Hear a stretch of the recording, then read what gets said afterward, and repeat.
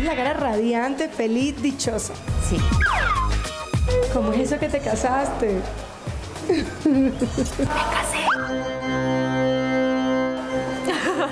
Sí, me casé el año pasado. Em, yo siempre también he tratado de ser muy privada con mi vida, entonces creo que los que me siguen en mis redes sociales ven que hablo del trabajo, hablo de las cosas en las que estoy, han conocido a Sebastián ahí también, pero el tema del matrimonio me lo quise guardar como muy para nosotros, la verdad, sabiendo también que, que, es algo como pues muy, muy privado, pero que ha sido un proceso muy bonito, ha sido muy bello, fue el año pasado, fue en Los Ángeles, eh, con un hombre maravilloso.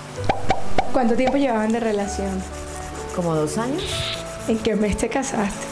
Enero.